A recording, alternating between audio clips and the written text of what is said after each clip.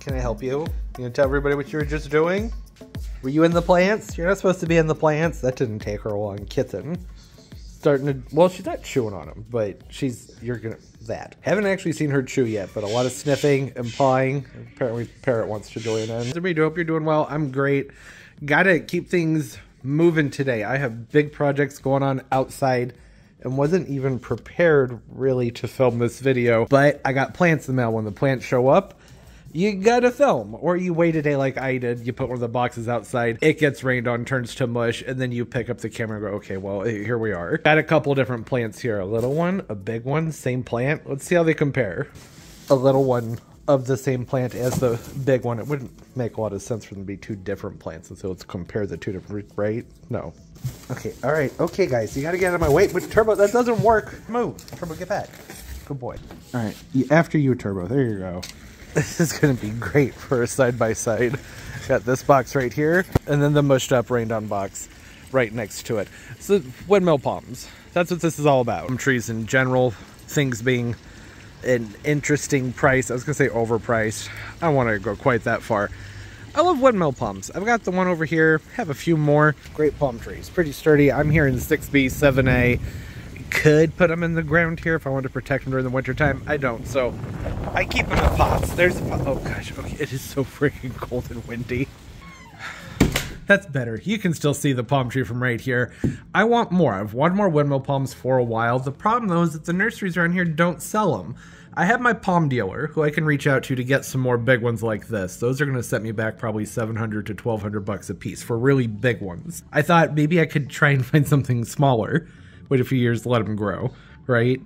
save some money that way. This one's been potted up in this container for a few years now. I want to say uh, it was probably two and a half feet tall in 2017. Seven years. Yeah, not the fastest of growers, but that's okay because I got to move this thing inside every winter when it drops below about five degrees. That's when I like to move it, or really below 10 is when I like to move it in. In pots, that's just the way it is. They don't grow very quickly, so they tend to cost more money. In the ground, you get a lot more out of them over the time that you have them. Cut to these two plants over here. I know, this is all very informal, but it is so freaking cold out there. And even if this guy wants in, you know it's not nice outside. So, if you're someone like me and you like palm trees, you shop around for them a lot. You may have noticed over the last few years there's been this trend where growers are taking palm trees that are not very big, sticking them in fairly large pots that are way too big for them, and selling them for the price of the plants that should be growing in those pots. Buy a 15 gallon palm tree that's, you know, maybe two feet tall when several years ago that would have been a proper plant. So it's probably about five feet tall. This has been going on big time with the windmill palms. Prices are all over the place. But I did find what I thought might be some good deals on Home Depot's website. I've ordered shrubs from them before. They've always come in looking pretty good. Only problem though is there's a lot of confusion when trying to figure out which ones to get because the prices were all over the place. And some things were labeled as gallon size versus the inches of the container. When you go down to the specifications for the plants though, you're able to see how big you should expect them to be. What I decided to do, just to resolve my curiosity, was get the cheapest one and get the most expensive one. This one right here, I think it was $49.99. Three gallon pot. Online it said it should be 28 inches when it arrives. I assume they're measuring from the bottom of the pot and up. This one right here was 133, I believe, and they were saying it'd be 45 inches high. If that's true, then this is a very good deal because a lot of the times the windmills you see online, if they're over three feet tall, they're a few hundred bucks. It just costs more when you're not down south and you're not where they're growing them. Getting them up this far north always costs more. This one right here, 44 or 49.99, and I believe they said 28 inches tall in a three gallon container. I typically know what to expect when I see those specs on a palm tree. A three gallon pot, which is not much. And what I'm seeing in here is not much. I've seen worse, so that's not too bad. It's about what I was expecting and what I was expecting was pretty puny, so hence my lack of disappointment here. That's what I would call pretty pathetic, and really, I'm probably going to be having the same reaction with the other one. That's just a guess based off of the weight of the other one. Uh, uh, $49.99? Nah. There's the tag.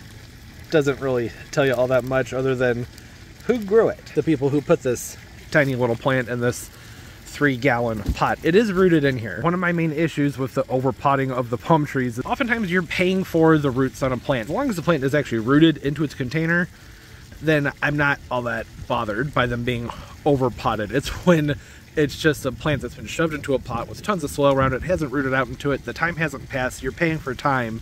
And if that time hasn't passed, you're just throwing your money away. This one, it's in there, so it's rooted has a decent sized root system on it. It's okay. This is what I would prefer to spend like 30 bucks on, but it's all right. Now this one, the very sad one, it got some rain on it yesterday.